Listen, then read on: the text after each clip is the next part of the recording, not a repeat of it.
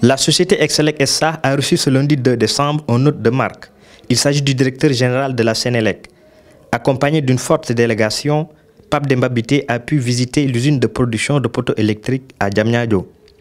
Excelec SA, un géant qui a fini de faire ses preuves dans l'électrification rurale au Sénégal. À sa sortie de visite, le DG de la Société nationale d'électricité s'est félicité du dispositif colossal de dernière génération dont dispose Excelec SA. Je suis venu ce matin avec tous les membres du conseil d'administration de Excelec visiter cette installation importante dans le cadre de la mise en œuvre de l'ambition programme de M. le Président de la République d'accès universel à l'horizon 2025. Ce programme va nécessiter la mise en œuvre de beaucoup d'ouvrages électriques, des lignes, des poteaux. Et c'est très important que dans, cette, dans le cadre de ce projet-là, qu'on puisse développer une industrie électrique locale. Parce que comme vous le savez, jusqu'à présent, tout le matériel électrique était importé. Et si nous devons aller vers l'accès universel, c'est important qu'on puisse développer une industrie électrique locale. Surtout si cette industrie électrique est développée par les Sénégalais. Dans sa politique d'accompagner le chef de l'État à travers sa vision liée à l'accès universel de l'électricité, Excelec s'active à réaliser 200 000 poteaux par an. Un défi que Pape Aligay compte relever avec son personnel constitué d'une équipe jeune et dynamique. Le général de Sénélec qui est venu voir sa, sa filiale Excelec. Il vient faire connaissance non seulement avec sa filiale, et également il vient faire connaissance avec son personnel. Il est également venu avec le conseil d'administration de Excelec.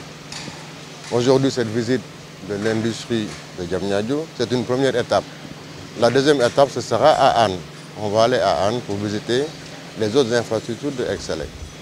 C'est en ce moment-là qu'ils vont voir le matériel des deux réseaux, les câbles et accessoires électriques, qui font que, en combinaison avec la fabrication de supports, avec le matériel d'exploitation qui est sur place à Anne, avec cette jonction-là, on va très vite sur tous les chantiers qui sont initiés par, M. le Président de la République.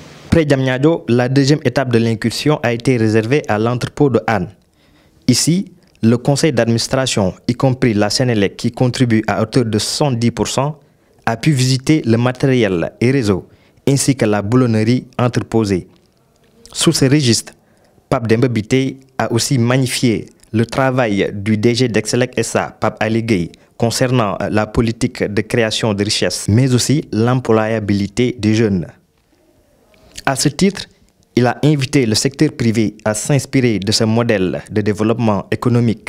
Le promoteur que nous avons, M. Pape Alégué, qui a abattu un travail important qui nous permet aujourd'hui, dans un avenir très très proche, de disposer d'environ 200 000 poteaux béton par an.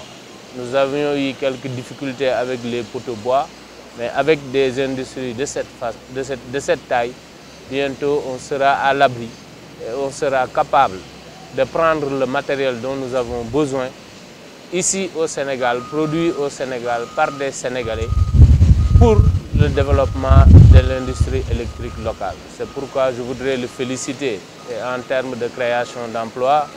On m'a annoncé qu'il y a 700 permanents et pratiquement 10 000 personnes qui tournent autour de cette infrastructure. Et c'est ça la vision de M. le Président de la République qui consiste à vouloir développer l'emploi, à vouloir développer le contenu local. C'est pourquoi nous sommes là, tout fiers d'encourager ce promoteur et de le pousser à continuer pour qu'ensemble, nous puissions apporter le confort nécessaire et le réconfort aux Sénégalais, que ce soit en milieu urbain et en milieu rural.